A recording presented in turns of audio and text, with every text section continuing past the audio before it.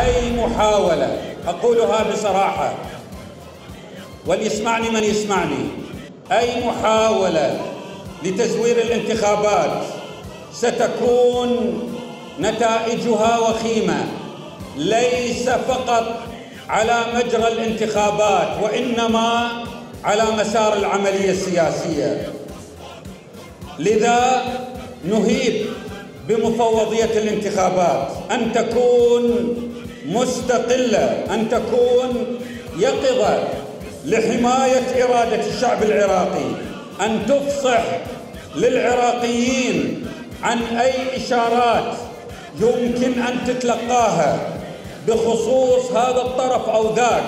من شأنها أن تتدخل بإرادة المواطن العراقي.